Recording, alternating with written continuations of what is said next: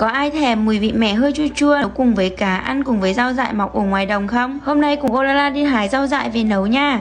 Mấy nay mấy ngôi làng ở sát chỗ Olala đã bắt đầu lúa chín vàng ruộm rồi. Một số gia đình thì cũng đã bắt đầu gặt. Hôm nay Olala cố tình dậy sớm để đi ra đồng hái rau. Khoảng độ tầm 6 rưỡi là trời đã bắt đầu nắng nóng rồi mọi người ạ. Trong lúc đi hái rau thì thấy bà đang hái sen để mang ra chợ bán. Tiện thể mua giúp bà vài bó để mang về cắm luôn. Có bạn nào biết cây cỏ này không? Chỗ tụi mình thì gọi là cỏ mần trầu. Hồi bé tụi mình đi chăn trâu, rất thích hay nhặt những cây cỏ này về để xào ăn. Còn ở bờ ruộng mùa này thì rất nhiều lá rất tanh. Loại rau này thì tự mọc ở bờ ruộng cằn cỗi nhưng mà hương rất thơm nha mọi người. Hai chị em tụi mình sẽ hái nhiều một xíu. Về để ăn cùng với cá và tiện thể làm nước uống. Khúc này bà thấy hai chị em đi nhặt rau sớm quá thì ra bà nhặt trong một ít mướp và hoa luôn. Rau thì cũng đã nhặt đủ rồi giờ thì sẽ đi về để cắm bình hoa sen nào. Đây cũng là lần đầu tiên Olala cắm hoa sen á. Bình thường thì ở nhà đa số là toàn cắm hoa chuối rừng thôi mọi người ạ. Bình sen này đúng là không biết là có đẹp hay không nữa. Đúng lúc về tới nhà thì anh shipper mang quà của bé giò tí toái sang tặng cho Harry nhà mình. Hôm nay là ngày mùng 1 tháng 6 rồi đó mọi người Nhanh thật đó. Ngày lễ nào cũng thế Các bác ở Winmira lúc nào cũng nhớ tới Ri để tặng quà. Món quà nhỏ nhỏ vậy thôi, nhưng chứa đựng bao nhiêu công sức của các cô chú ở Win Media. chăm chút từng bức ảnh một, gắn bức ảnh xong là đòi mẹ dẫn vào trong phòng để tắt điện đi nhìn một cái bóng nhấp nháy xem có đẹp không hmm.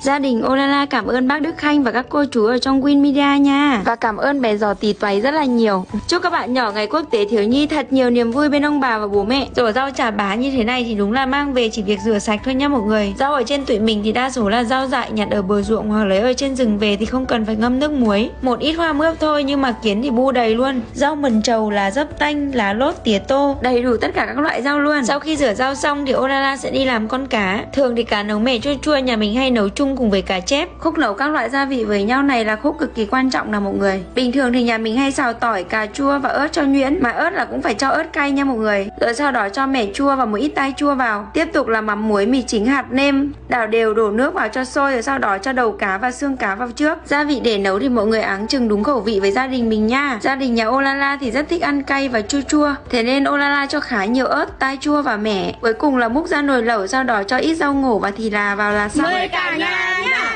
một số loại rau dại mọc ở bờ ruộng tưởng chừng như không có ai ăn được nhưng lại trở thành món ngon ở trên vùng cao Hà Giang tụi mình. Nếu các bạn lên vùng cao thì nhớ thử nha.